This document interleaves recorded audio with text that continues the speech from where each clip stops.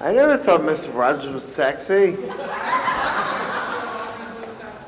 Rachel, could you talk about why it was important to you to develop their characters around traits of them, each of them as people?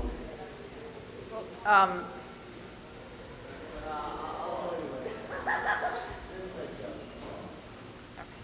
uh, the, there's a risk that you take. There's a risk that you take when making. I guess I'm going to answer the question from a, from a couple angles. One, there's a risk that you take when going into any creative venture, whether it will be successful or not.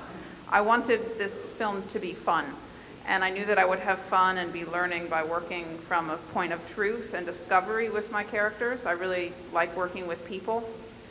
Um, I don't, I don't know what it is to have autism, but I wanted to, I wanted to make a film that would empower my actors to show that. So really, the, the work of the, the work of preparing the feature, the work of preparing the short, took a long time in developing the script. It was a back and forth, long collaboration with the cast. So I would come, I would get to know them and write something and say, I, I think this is, this is what the emotion is and then I could test it with them and then revise. So it was this great back and forth, and the script becomes something that, if successful, triggers the, the actor's emotions.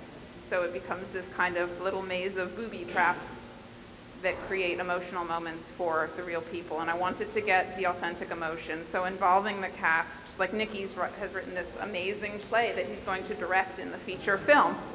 Huh? Well, you're, he's, he's, he's editing it down. It's like 100 pages right now, so it's got to get a little tighter.